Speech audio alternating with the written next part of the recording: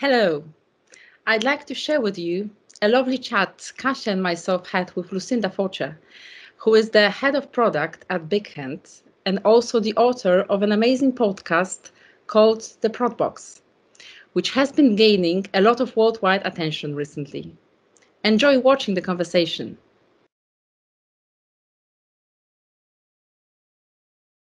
Ladies, I'm very happy uh, we should meet for a cup of tea today. I've got my tea with me as well. Here. My tea. and uh, I wanted to speak about something which is extremely interesting for us. Um, uh, it is especially interesting for product owners uh, and product managers. I've been in product management for around nine years, and I think really key for me is that I'm passionate about what I do. I enjoy what I do. I love creating products. I love creating products that customers love. Um, you know, the process of creating products, so doing user research, usability testing, the design aspect, and actually solving problems because that's really key to product management is understanding your customer or users problems and solving them. And, you know, throughout my career, I've had a number of roles. I've had product owner roles, product manager roles, now head of product delivery at Big Hand. And, you know, each of those roles has, has had different impacts and, and, and different challenges.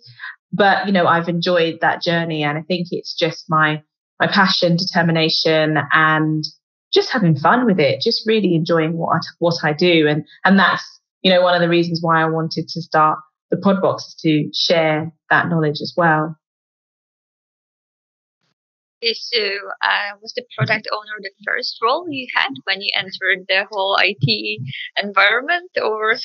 Well, actually, funnily enough, um, I started the first role in product management I had uh, was an, as an assistant product manager. And at that time, uh, the company that I was working for was not working in an agile way. We were working in a very waterfall way. So, you know, functional specification documents, um, BRDs, business requirements documents, very much we're going to build this thing and it take you however long to build it, then you deploy it. So it was very different to how we work now. And, you know, the agility of development teams is you know, apparent. Everybody is moving to that way of working and moving from waterfall to a more agile way. So, funnily enough, it wasn't a product owner role, but very soon after I started as an assistant product manager, we then started to think about working in a more agile way and then adopted Scrum. And then I entered into the realm of product ownership. Okay, uh, I'm just asking because uh, I think I've never met anybody who started with the product management like uh, from the scratch. Like usually people just evolve, like they enter yeah. IT being um, developers. I myself started uh, as a developer, and then you just you know uh, sway into some other direction. So that's curious. So yeah like uh, straight in, straight at product management, and I haven't left. so, and I've loved. It. Yeah, that's cool. Uh, I mean, okay, so obviously, we wanted to ask you, like, what was your main uh, uh, driver to uh, start the podcast? Yeah, so I decided to start the podcast because we know that 2020 has been a very crazy year. You know, it's with COVID and, you know, a lot of things have been happening this year. And I've had more time to think about, you know, how I can give back and, and how I can do more with what I enjoy, which is product management. So I'm a fan of learning and sharing knowledge. And I really wanted the Prodbox to reflect that. So as I said, I enjoy what I do and I just want to share that passion with others. I, I like to, to learn new ways of working. So the aim was to share those ways of working and invite guests along to share ways of working that have worked for them in the past or not so much and just share experiences so we can all learn. And the Prodbox is aimed at, at those who are, you know, wanting to start out in product management or maybe thinking about making the move. But then also, um, I would want to attract people who are working in product management as a product manager or product owner as well, just to share share the knowledge and to learn and while i while i learn to share what i learn and hopefully they get something out of it Uh, yeah, that's a good point because you're mentioning product ownership and product management all the way, but uh, perhaps it's not so clear uh, definition for everybody. So maybe you could, as an expert, share like what does it mean for you to act as a product manager, product owner. Well, this is the discussion. It's quite a common discussion in the product space at the moment. And funnily enough, the first episode of the Prodbox is product owner versus product yep. manager. Um, so, you know, a bite sized 20 minute episode, just exploring the differences between the two. And I think ultimately, when we're looking at both roles, it's tactical versus strategic, in my opinion. You know, so the product owner role you know, it's very um, focused around agile and the scrum way of working, that's where the product owner was kind of birthed from. And it's focusing on, you know, prioritizing your backlog, working with your stakeholders, being the, the voice of the customer uh, for your development team, for stakeholders throughout the business, and really trying to get everyone rallied around your your vision and, and prioritizing your backlog. And I think as it's a more tactical role, when you compare it to the product manager role, which is a more strategic and commercial role, thinking about why are we building what we're building and uh, really understanding the research. So researching the market, looking at value proposition, uh, turning that into, you know, why we're doing what we're doing, understanding the business problem. But then, you know, there, there is a bit of an overlap between the two roles because both roles need to understand the, the market direction, need to understand the customer problem, need to speak to customers, you know, working on qualitative and quantitative data. So it's, there is a bit of an overlap and you may find in some organizations the product manager does both roles, the product owner may do both roles, um, or there, there, there exists a product owner and product manager in an organization. So it really is what works for your organization, but it is it, it does boil down to tactical versus strategic. So the what versus the why when we're looking at product owner versus product manager. I also remember, I think it, you mentioned in uh, the episode that uh, it, the easy way to differentiate is if you uh, bear with budget and money, you are like this is an easy way to say you're the product manager like more committing to this role. And the other way around is as you said like being more hands-on with the team. Yeah yeah yeah exactly.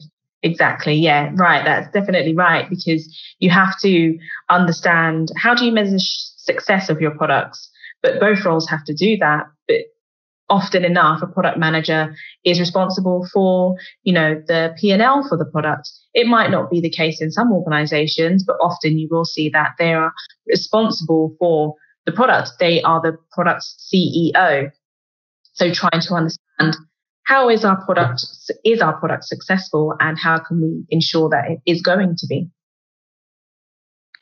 Okay.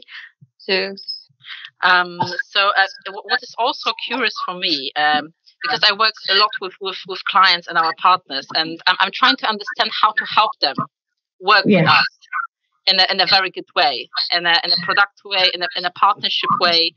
And uh, I'm, I'm very curious uh, about the, the most common problems um, that product owners face that we can also address. And and and uh, if you see that there are any ways we we also help product owners in their work. Oh, and there's there's a plethora of problems that product owners face day to day. And, you know, I think it can range from you've got conflicting priorities, and that might be from the market or your customers or users, but then also internally your stakeholders. So really trying to understand that prioritization which can sometimes be a little tricky. So there are a number of tools which you can use to help you to do that. And especially when you're prioritizing your backlog, but then also when looking at the longer term roadmap.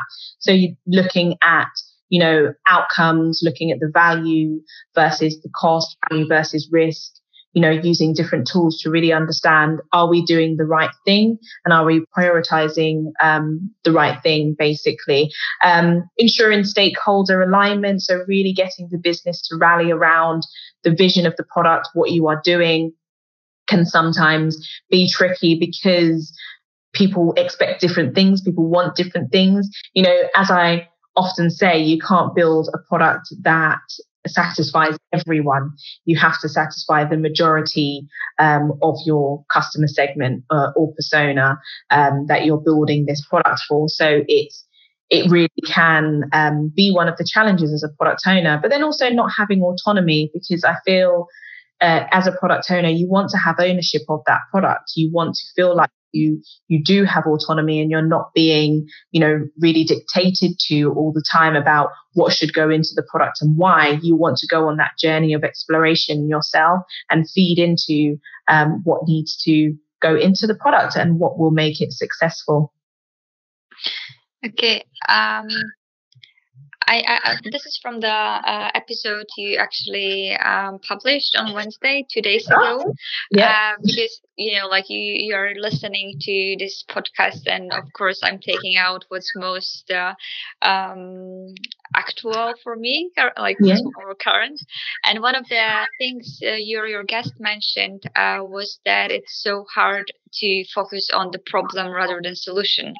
So this is the you know top advice um, I take out.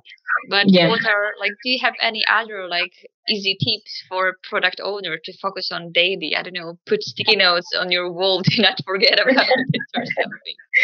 Um, do you know what key? What's key for me is to just really remember that you are not the user, because sometimes we can get so wrapped wrapped up in our product that we know what's best for the user. But I think once you really rely on the research, so make sure you're doing that user research, whether it be interviews or focus groups or you know surveys or usability testing, whatever it may be try to extract the, the, the journey for your product through research and through data.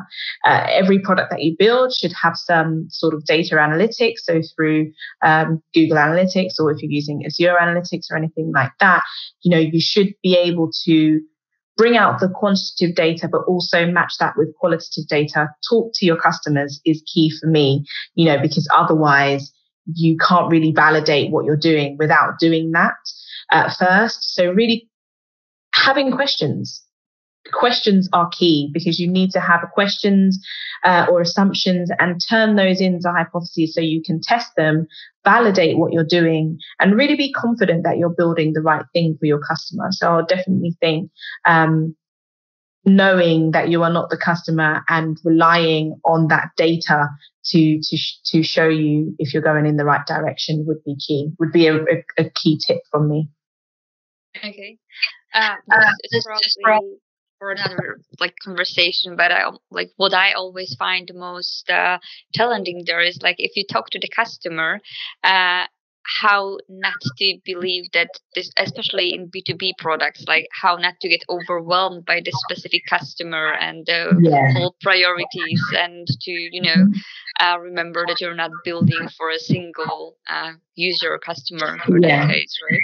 Yeah, absolutely. And that's where segmentation comes in uh, because you can have many segments for that usual product and they all have a different case. They all have a different problem that the product is solving. So have as many segments that you need and, and focus on what each of those, what each of those segments do need. You know, there's some, there's uh, a bank in the UK called Lloyds TSB and I think they have over a hundred segments. You know, it, it, it just depends on what suits your organization and how many products you have and who you're trying to target. That's the key. Just remember who you're trying to build for. And as I mentioned earlier, you can't build for everyone. You can't satisfy every single user or customer, but you have to try and um, understand the problem so you can satisfy the majority. That's right. That's what I'm going to put on my sticky notes. Uh, no, I'm um, asking because you know, like uh, I work as a business analyst, and uh, in PGS we don't uh, have product owners. We usually have product owners on the our client side.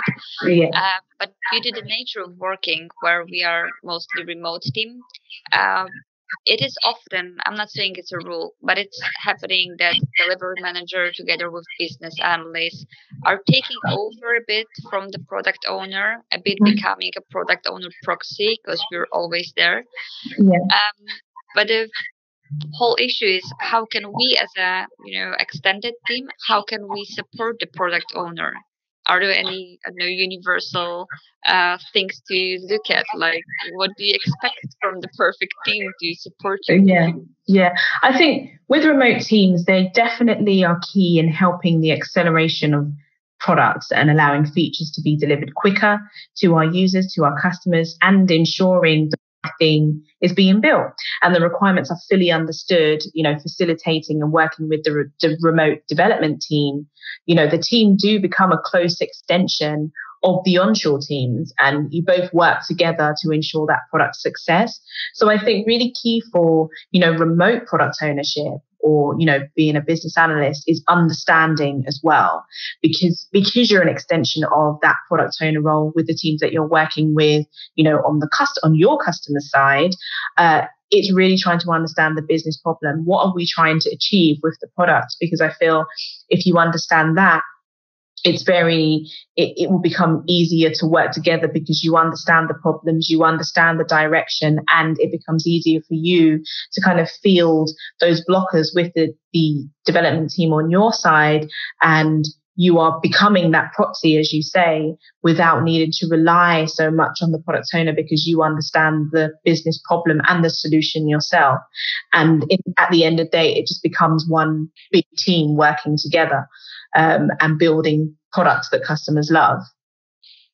Yep, that's what we're aiming for. Like we're yeah. aiming for, you know, having the communication close. So we are actually a one team after all. Yeah, exactly, exactly, and that's key. That's key when you're working with offshore um, or nearshore teams. Absolutely. So uh, what I understood from from your from your uh, chats is that uh, the successful team probably is the team that works together on one. Absolutely, yeah. Yeah, definitely. Uh, and this is, uh, Lucinda, how would you, you would, for example, define as a successful team? How would you build that kind of team? Is it a kind of role model that we, you know, define a successful team that works together um, to achieve one goal? Or would you add something else also to that? Absolutely. And, you know, a part of what I love is building and scaling product teams. You know, I think it's really really important to have passionate people who are keen and uh, keen on building great products that customers love. They're interested in research and data and problem solvers. You know, you have to be a problem solver. You have to want to solve a specific problem because that's what most of the, our, our products do. You know, and I think, you know, as you mentioned, it's really key to have a collaborative work ethic, be able to work as a team, um, enjoy that collaboration, but be able to work autonomously and work in a solo uh, because if you are a product owner that, that you have to touch many aspects of an organization. You know you're working with sales you're working with marketing you're working with delivery teams you're working with the development team. You know you're working with key stakeholders throughout the business. So communication is absolutely key as well. And i think ensuring the team is diverse because different people from different backgrounds have different experiences. And this only contributes towards great software products in the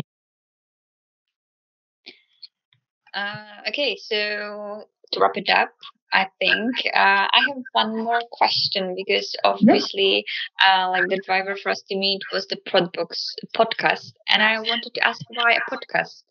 Why did you choose this forum of communication? I think I prefer a podcast because I like talking. so I thought I'd talk and rather do like a vlog um, or start a channel on, on like YouTube. Um, I thought, let me just do a podcast. It's really easy. Um, yeah, and I thought, let me just try something new. I like to talk. Um, hopefully, you like listening to my voice and it's not annoying or anything like that. So, so yeah, and, and, and I just chose that forum, and it seems that um, you know I've had feedback that people are enjoying it, which is great. Yep, it is. Yeah, I have one more question around the the, the Prodbox because um, uh, you you have on the Prodbox there are three episodes right now. Are you yes. planning any more? And what are the potential topics that we can also expect?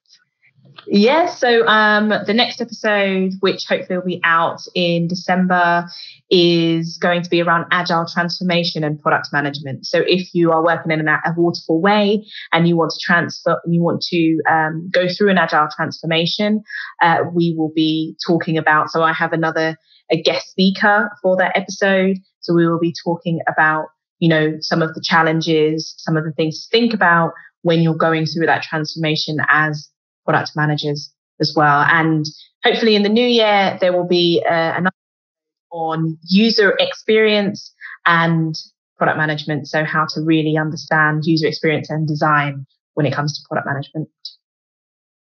Yeah, it seems like there is a lot of in the. There's a lot coming. Yep, yep, and there's going to be even more after that. So you know, watch this space. yeah, we are looking okay. forward to to to listen to that. Great. Uh, yeah. Yep, great. Um, okay, so the next one is the agile transformation. I'm looking forward to it, and uh, yep, we're gonna find Prodbox on its dedicated site, right? Uh, so what's the direction? So you can the Prodbox podcast is available on all um, on all popular podcast platforms, so Spotify, Google Podcasts, Apple Podcasts, um, Deezer, TuneIn, Alexa, etc. So you'll find it on all the popular podcast sites.